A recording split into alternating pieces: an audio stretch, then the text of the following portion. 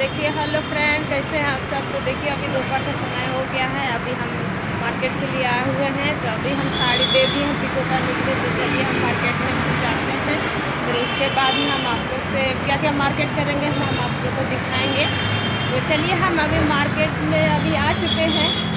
मतलब अभी पहुँचे नहीं है, रास्ते में हैं। तो चलिए, अभी मार्केट में हम घूमते हैं। फिर उसके बाद में हम क्या क्या लेंगे हम आप लोग को बताएँगे।